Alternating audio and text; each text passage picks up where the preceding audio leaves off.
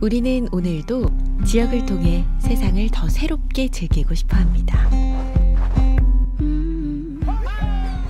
우리 손 안에서 더 친숙하게 느끼고 더 재미있게 공감하는 그래서 더 생생하게 우리를 알 수 있는 공간. 여러분과 소통하며 함께 만들어가는 콘텐츠 세상. 뉴 미디어와의 새로운 만남. 안녕 MBC 충북.